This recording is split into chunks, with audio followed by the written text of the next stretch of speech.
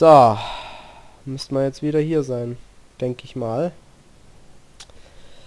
Ah, Zugangshalle F der Hyperion. 4.14 Uhr Bordszeit.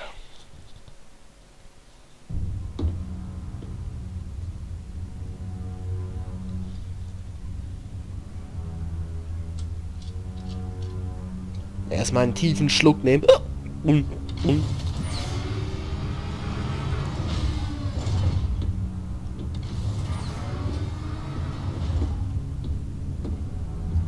Glu. Hm? Da müssen wir mal wieder den Scheißmechaniker rufen.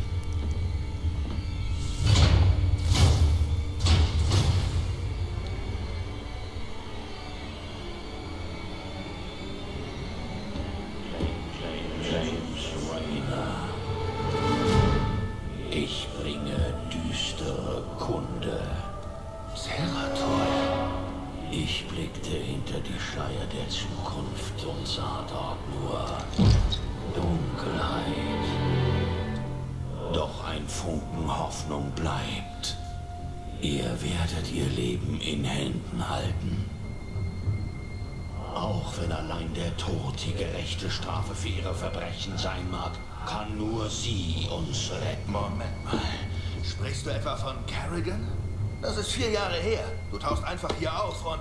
Die Zeit drängt. Ihr werdet verstehen. Dies birgt die Antworten auf eure Fragen. Erschließt das Geheimnis. Das Schicksal aller steht auf dem Spiel. Hat mich auch gefreut.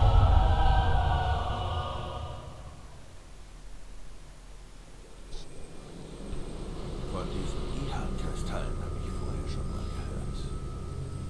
Angeblich ermöglichen sie es einem, die Erinnerungen von jemand anderem noch einmal zu erleben. Was immer Zeratul entdeckt hat, wollte er mich auch unbedingt sehen lassen. Dann würde ich wohl mal einen Blick riskieren. ob das wirklich so eine gute Idee ist und willkommen zurück zu Let's Play StarCraft 2. Was ist denn das für ein Objekt? Stammt es von den Protoss? Allerdings. Aber ich würde an deiner Stelle nicht damit rumspielen. Das ist ein Kaidarin Ihan-Kristall. In diesem Ding werden Erinnerungen gespeichert. Damit kannst du sehen, was andere erlebt haben. Könnte böse enden, wenn du nicht weißt, wie man damit umgeht. Dir scheint es jedoch keine Angst zu machen. Du bist ein wirklich interessanter Mann, Jim Raynor. Du verstehst mehr von den Protoss oder den Zerg als irgendeiner dieser Experten, von denen ich gelesen habe. Ja, das mag wohl sein. Über den Kristall im Labor können Sie auf Ceratools Erinnerungen in Form zusätzlicher Missionen zurück zugreifen. Klicken Sie mit der linken Maus auf den Kristall, um Ceratul-Missionen zu starten. Ähm, klingt ziemlich interessant. Diese Artefakte hier zu haben, macht mich nervös. Kannst du mir mehr über sie sagen? Es ist interessant. Das eine von Xil ist anders als die anderen.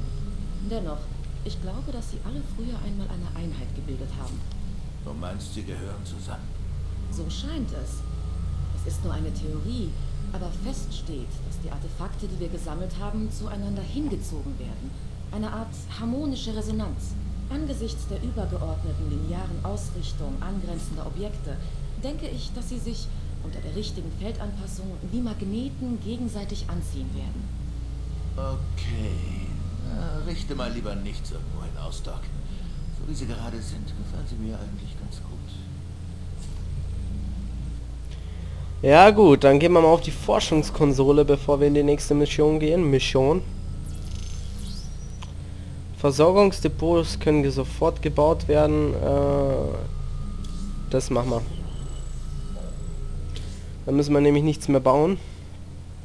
Protoss-Tank.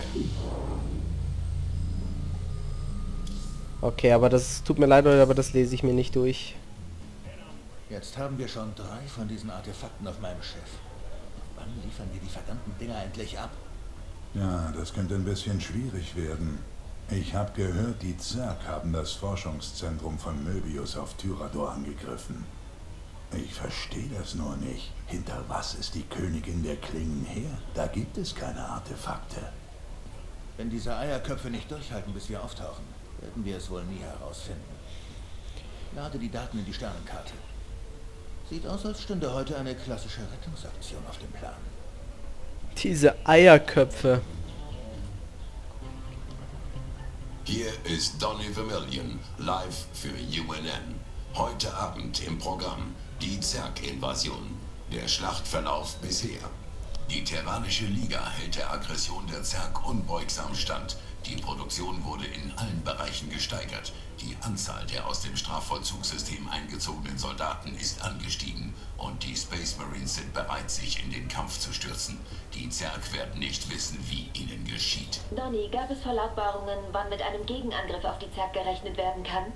Kate, wenn ich dazu Stellung beziehen würde, würde ich wichtige militärische Geheimnisse preisgeben. Glauben Sie etwa, die Zerg verfolgen unser Programm? Ich weiß, dass sie es tun, Kate. Ich weiß es. Tja, wir machen die Nachrichten, Leute.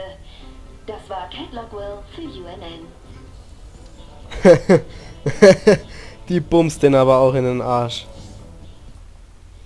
Wahnsinn, dieser Donny Vermillion pisst mich auch an. Mit den Belagerungspanzern fahren wir jetzt richtig schweres Gerät auf. Ach ja, beruhigende Donnern schwerer Geschütze. Naja, mindestens solange sie auf unserer Seite sind. Außerdem ist die Standardkanone der neuen Panzer jetzt effektiver. Zusätzlich dazu sind sie stärker gepanzert. Hauptsache, sie haben im Belagerungsmodus noch immer die gleiche Reichweite. Der Rest ist egal. Mit Bunkern und Belagerungspanzern können wir die Stellung gegen so ziemlich alles halten. Recht hat er da aber. Hm. Erhöht Schaden vom Belagerungspunk. Aha. Die Schockkanone richtet 75% weniger Schaden bei einzelnen Verbündeten an. Ui, da kostet.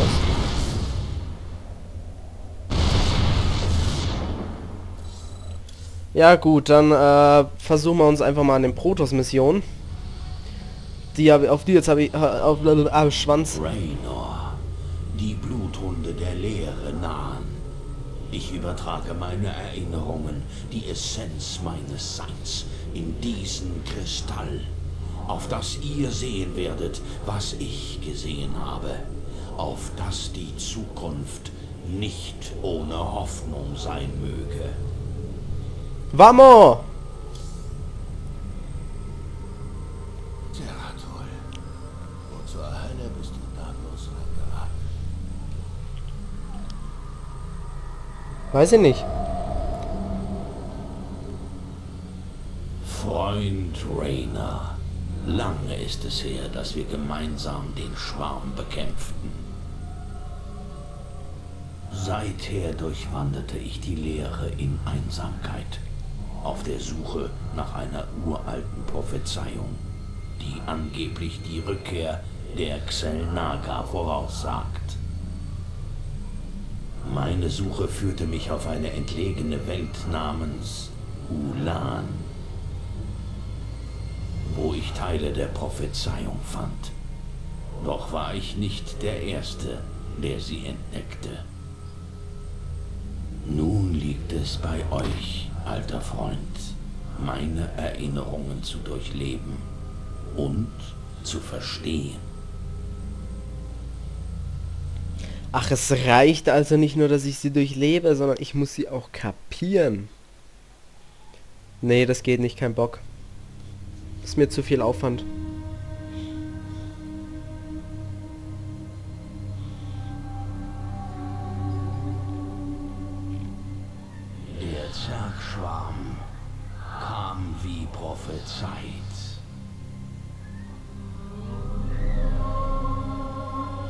Die Protoss, Erstgeborene der Götter, stellten sich ihnen. Die Xelnaga, unsere Schöpfer, nun kehren sie zurück. Doch bedeuten sie Rettung oder Untergang.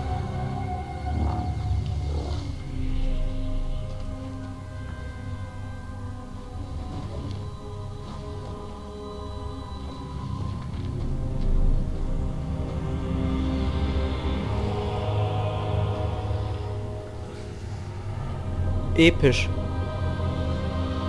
Einfach nur episch.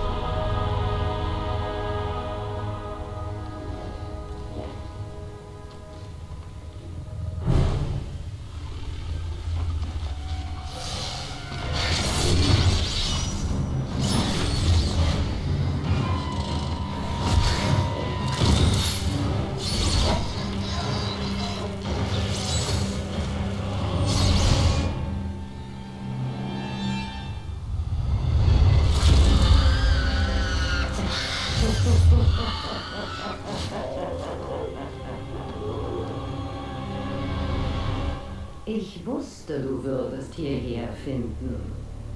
Mit der Zeit. Eure bloße Anwesenheit entweiht diesen Ort, Carrigan. Hörst du sie, Zeratul? Ihr Flüstern in den Sternen? Ihre Ankunft wird die Galaxie entflammen. Doch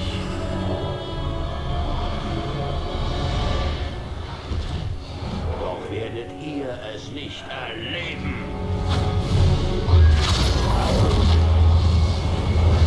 Bitte. Unser kleiner Streit ist bedeutungslos. Ein Sturmzug, den nichts aufhalten kann. Wie passend, dass wir zusammen ausgelöscht werden. Niemals!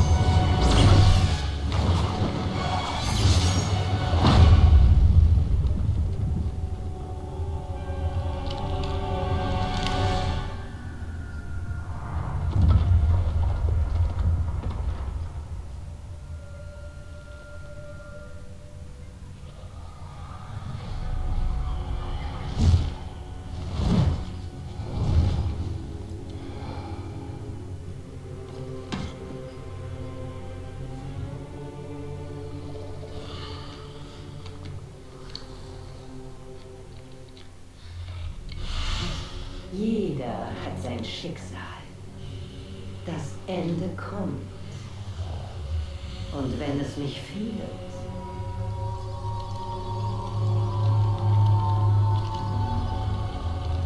empfange ich es mit Freude.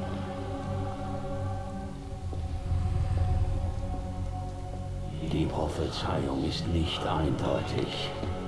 Hoffnung besteht immer.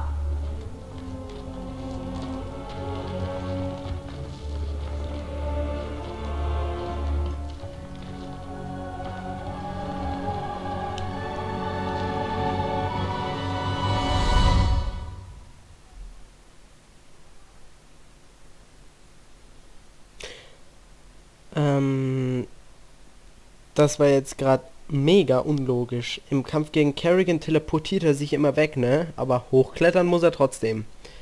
Das ist äh, an manchen Stellen komisch, aber Leute, das war doch mal ein gerade ein episches Video. Gefällt mir immer wieder. Ich glaube, zum dritten Mal schaue ich mir das jetzt an. ne, ich stehe halt voll auf diesen Ceratul. Einer meiner Lieblingsspieler. Äh. Kann man nichts ändern. Deswegen spielen wir jetzt auch die Protoss-Dinger. Im Dienste Arjuas. Wir müssen handeln. Die Prophezeiung wurde in Fragmente geteilt und jedes Fragment an einem anderen Schrein aufbewahrt. Ich muss sie an mich nehmen und diese Welt schnellstens wieder verlassen. Ja, Dieser Abgrund ist gewaltig. Glücklicherweise kann ich die Schatten nutzen, um auf die andere Seite zu gelangen. glücklicherweise ja. Die Balance wird wiederhergestellt. Euch gehört meine Ergebenheit. Ehre den Erstgeborenen. Na, dann machen wir das jetzt mal. Beziehungsweise, warum muss ich das zerstören? Ich, ich hätte doch einfach auch so machen können. Naja, egal. Sporenkrabbler können meine Präsenz aufdecken. Ich sollte sie in einem leeren Gefängnis einschließen.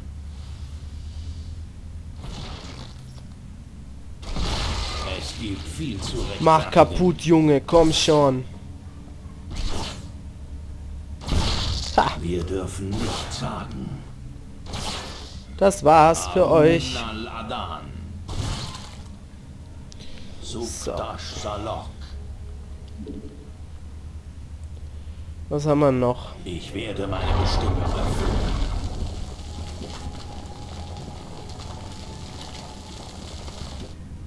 Aha. Ehre den Erstgeborenen. Äh, Mama so, Mama so. Das war ziemlich blöd von mir.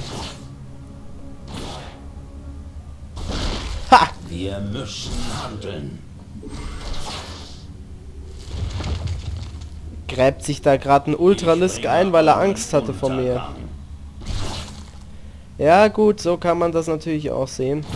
Ayur wird wieder auferstehen. Deine Mutter wird wieder auferstehen. In Arudin Rashagal. Aha. Dieser Sporenkrabbler kann mich von der anderen Seite des Abgrundes aus aufdecken. Ja, ja. Er muss zerstört werden. Das hat ihm jetzt aber auch nicht so viel geholfen. Ach, kommt schon, Leute. Dieser Overseer kann meine Tarnung durchschauen. Am besten schließe ich ihn in ein leeren Gefängnis ein, bevor ich den Abgrund überquere. Hehe. Neid. Tod und Verderben, Tod und Verderben. Oh yeah, baby. Das erste Fragment der Prophezeiung. Bald wird alles offenbar werden. Ja? Was sagt's uns? Warum ergibst du dich nicht einfach dem Vergessen, Zeratul? Wäre es nicht einfacher, deine Mühsal hier zu beenden, statt dem Ende deiner ganzen Spezies beizuwohnen? Diese unheilvolle Prophezeiung lässt mein Herz schwer werden.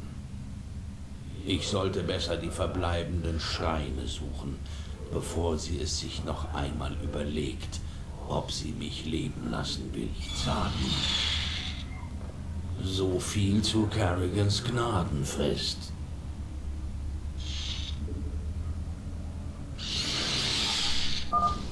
Für Shakuras. Ja, dann macht die mal kalt, Jungs. Ich werde Erlösung finden.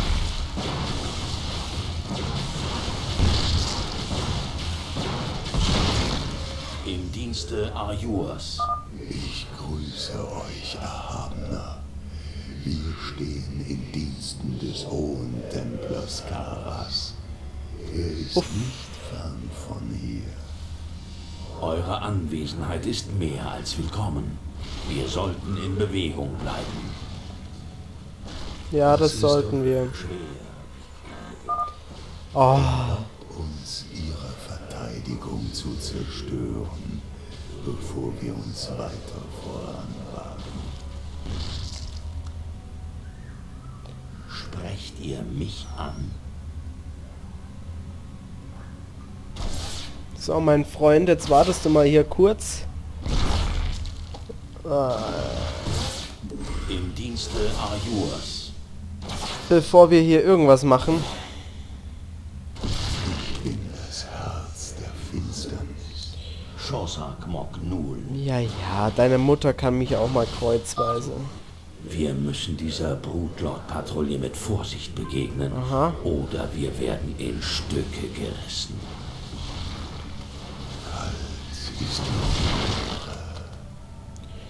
Ja, gut, dann äh, begegnen wir ihr mit Ich Vorsicht.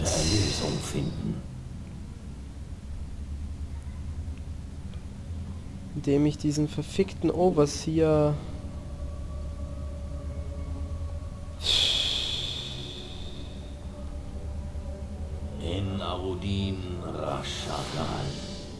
Das hat mir jetzt aber auch gar nichts gebracht gerade. Eins. Macht ihn kaputt, Jungs.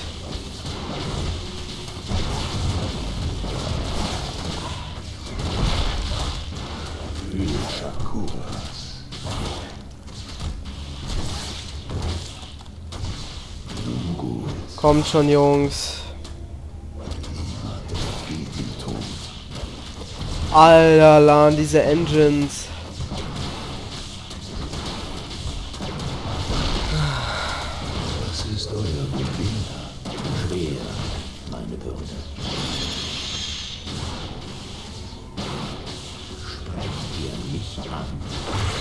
Ja, ich glaube, das tut er.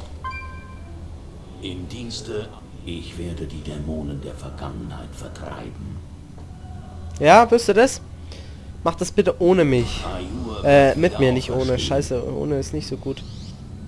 Chance, Ich bin die Stimme der Ah, haben wir einen Ersatzkämpfer bekommen. Ich hab's so. Ein Luftangriff steht bevor. Macht euch bereit, meine Brüder. Ja.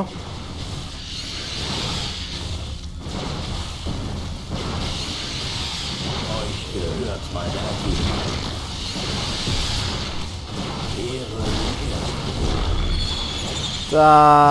Das willst du nicht tun.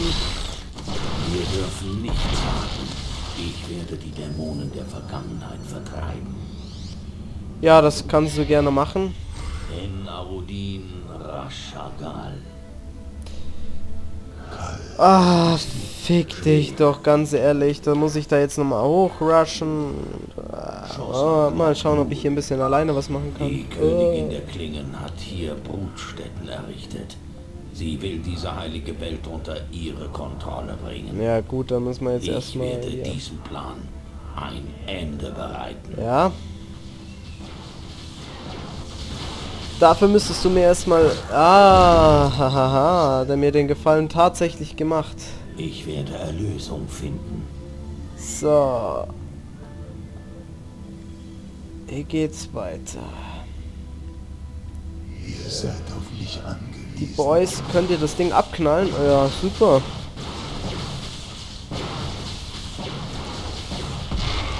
Noch besser. Ich werde die Dämonen der Vergangenheit vertreiben. So die Ehre Haha, du kannst dich nicht mehr bewegen, du Sacksigch, du. sprecht ihr mich an. Äh. Shosak Mok Nul. Ja. Wen sollte ich denn sonst ansprechen, du Sackgesicht? Das Herz der Finsternis. Jetzt komm her. Arschloch. Dich muss man abknallen. Faszinierend. Schwer wiegt meine Bürde. Ja, ja, deine Bürde. Ich werde Erlösung finden. Ja, ja, deine Bürde, die ist schon richtig schwer. Äh, hat die Kilage einer... Ich weiß es nicht was. Jungs, wollt ihr Zeratul vielleicht noch durchlassen, ihr Motherfuckers? Rashagal. Schwer wiegt. Wir sind eins mit den Schatten. Tja, Ich werde Erlösung finden. that's it. Ihr mich an. Ha! Mach sie platt, Junge, Mann! Platt. Platt. Platz. Platz. Platz. Ich werde Erlösung. Schwer wiegt meine Bürde. Ich werde die Dämonen der Vergangenheit vertreiben. Ja, du wirst die Dämonen der Vergangenheit vertreiben, ich nicht. Jetzt höre ich mir erstmal deine zweite Forschungsscheiße an und dann mach mal schnell hopp, hopp, hopp, hopp, hopp, hopp, hopp, hopp. Der zweite Teil der Prophezeiung. Meine Aufgabe ist fast vollendet.